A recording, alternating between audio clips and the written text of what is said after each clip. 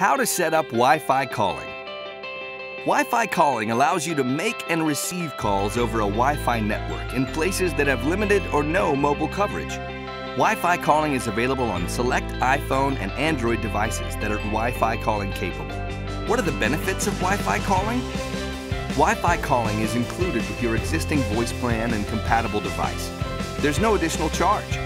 With Wi-Fi calling, you can make and receive free calls to US numbers using your phone number, even while traveling internationally. To set up Wi-Fi calling on an iPhone, first, verify that the phone is using iOS 8.3 or above.